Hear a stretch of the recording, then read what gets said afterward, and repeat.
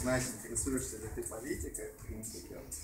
Вот. А как ты относишься к протестным разным движениям, Wall Street, например. Вот. И э, что тебе ближе, там, социализм или какая-то иная система?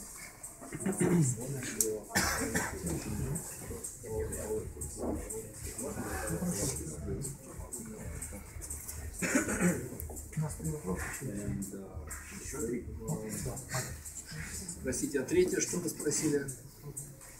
А, ну, что ей ближе, А, чё, да-да-да. социализм? Проблема ЕГЭ сейчас. Они проиграют просто. Про, про образование проблема. Какие Uh, well, first and foremost, I fully support the Occupy movement. I think it's something that should have happened years ago, and I've sort of been waiting, and I think a lot of people have been waiting for a new movement, especially in America, to start. You know, coming from the people, we've been so lazy. It feels like, and this is the first movement we've had that's been so strong, and um, hopefully it's just the beginning. Ну, прежде всего, я очень а, страстно поддерживаю это движение а, Occupy что-либо, особенно в Америке, народ был слишком ленивый, и давно это нужно, давно должно было бы появиться, но я очень рад, что появилось сейчас, и люди начали как-то выражать свой протест.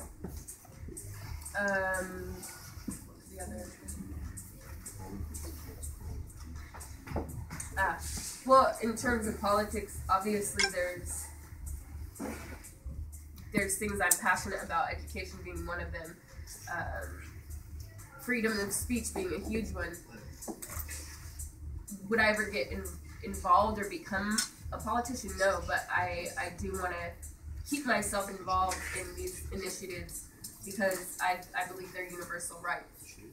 А, ну, если говорить о политике, есть какие-то отдельные области, как, например, образование или право человека на самовыражение, и свобода слова.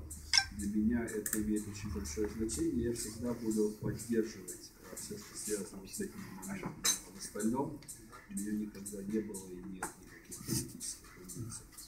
And I definitely consider myself a leftist, naturally, based on uh, my interests and my passions. But right now, I don't really think there's one system that works flawlessly, and I don't know if there ever will be. I believe in social medicine, but I don't think socialism as a whole works. Um, if I have to vote in an election, yeah, I'll, I'll definitely vote Democratic, but that's just because I don't think the liberal, uh, the Libertarian Party has a chance at winning.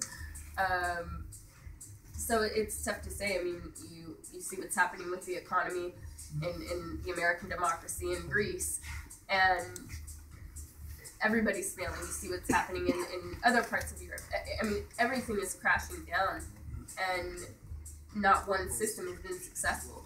If communism failed, now democracy is failing. So, what's the what's then the next solution? It's hard to say because these things and these these economic structures are always formed by the people at the top, the people with the money. So they don't have interest in the people. So the change has to come from the people, and I don't know if we're ready to uh, to commit ourselves to something so large to give so much of ourselves to create that change. Ну, а если говорить о моих политических, а, политической наклонности, то я, конечно, а, можно сказать, что я левая. И когда я голосую, я голосую за демократов. Ну, просто потому, что а, либертарианцев, у либертарианцев в Америке нет шансов на победу. Но я как бы